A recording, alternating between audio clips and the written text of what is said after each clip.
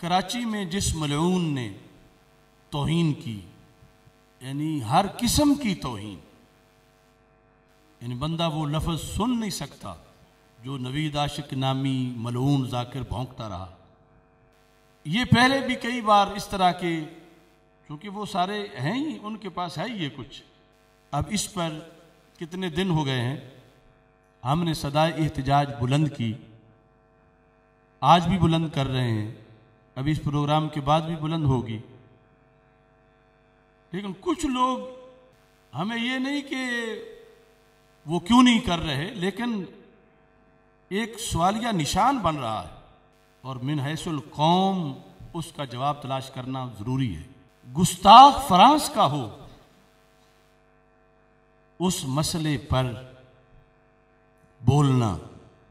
अगरचे वो अभी तक बाकी है, कर्ज है एक। वो छोटी बात नहीं, बहुत बड़ी बात है। मगर कराची का गुस्ताख अल्लाह को गालियाँ दे, कुरान को गालियाँ दे,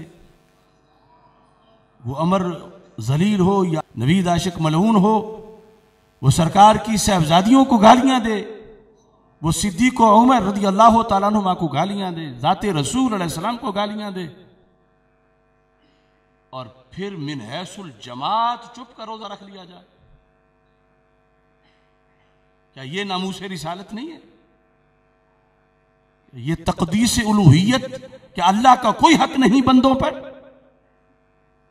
क्या आले बैत अतहार रदी अल्लाह तलाम और सिहाबा किराम रदी अल्लाह तलाम की इज़्ज़त और नमूस पे पैरा देना, क्या ये हमारे फ़राइज में से नहीं है? तो इस बुनियाद पर कौम को ये सोचना चाहिए कि आजमाइश हर वक़्त की है। और हर किस्म के गुस्ताखों के लिहाज से है। और वोट एक आर्जी सी चीज़ है। है तायरे लाहूती उस वोट से मौत अच्छी। आज जिस पर्ची की वजह से कुछ लोग गूँगे हो गए हैं, गुस्ताखों के खिलाफ बोल नहीं रहे कि बल्दियाती इलेक्शन आ रहा है और ये हो रहा है, वो हो रहा है। तायरे लाहूती उस वोट से मौत अच्छी। जिस वोट से आती हो परवाज में खोता ही।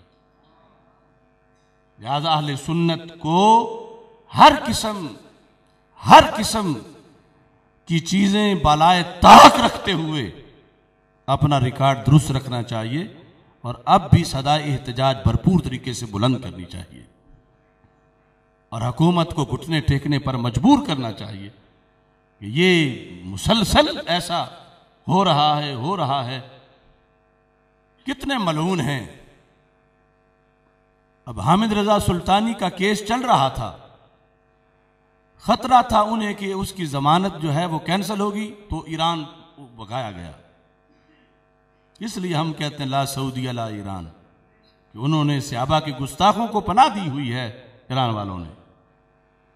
फिर वो आसिफ रजा अलवी है, अमजद जौहरी है, सैफ अली मलूना है अमर जलील है, किस किस का नाम ले? तो इस वास्ते हमारा मुतालबा है कि इन तमाम गुस्ताखों को फांसी दो। इन तमाम गुस्ताखों को, इन तमाम गुस्ताखों को